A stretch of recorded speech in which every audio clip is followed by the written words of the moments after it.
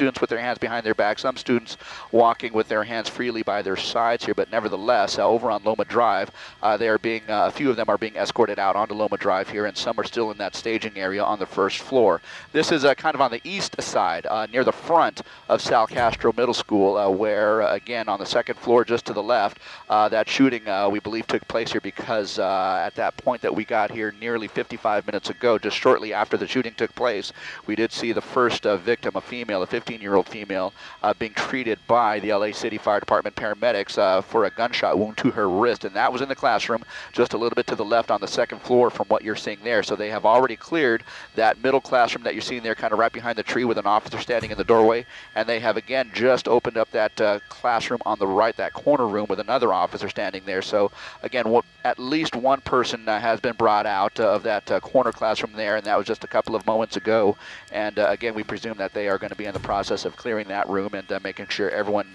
is clear before they brought before they bring them down to the staging area there on the first floor.